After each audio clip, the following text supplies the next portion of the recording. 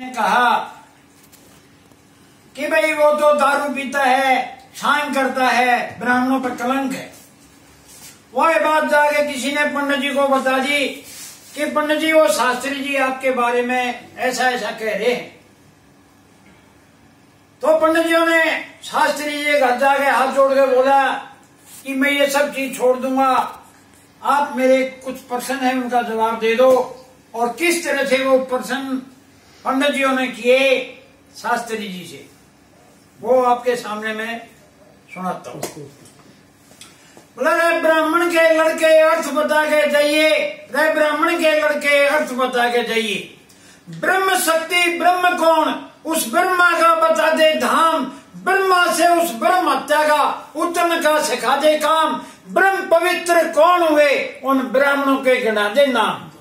काया का अभिमान करके पाँच पाड़े पाँच मारे। नौ कौन रहेगी? खाली दो को तो कहीं बचा ले। चार मारे, चार छोड़े, एक को तो कहीं अजमा ले।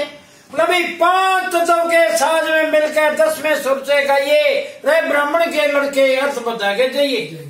बुद्ध का जन्म बता दे, बृहस्पति का गुरुद्वारा। चंद्रमा का प्रमाण देकर लिख दिया न्यारा न्यारा एक प्रश्न ये भी खोलो, ब्रह्मा का सिर किसने तारा? तीन जन्म का दिया था। किसने तो दिया था दंड? सात दीप, चौदह भवन, नौ तो गिना दे खंड। कितने में तो पशु पक्षी और कितने में ब्रह्मंड? रिद्धि, सिद्धि करके यार एक दुनिया नहीं बसाइए। रे ब्राह्मण के लड़के अर्थ बता के जाइए। सतयुग का बयान करो, कितने दिन बीते रहे सूर्य और चंद्रमा के सारे तो गणा दे ग्रहण एक प्रश्न ये भी खोलो, कितने हुए चकवे बहन? कितने में नारी नर, कितने में जलचर कितने में नवचर कितने में स्थावर जो जन्म मरण में कभी ना आया तो उसका नाम गिनाइए रे ब्राह्मण के लड़के अर्थ बता के जाइए। भाई, आँख में लकीर मारी किसका तो हुआ था लाल? दो पुत्र किसने चाहे, एक सिंह और एक शाल। नर से वो नारी बन गई, ये भी तो हुआ जब कमाल।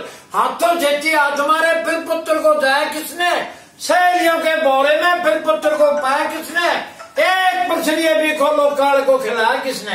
लक्ष्मी चंद बसे जाति में, उड़े पूछ गए आइए, ब्राह्मण के लड़के अर्थ बता के जाइए। तो शास्त्री जी उसके पैरों में पड़ गए। हाँ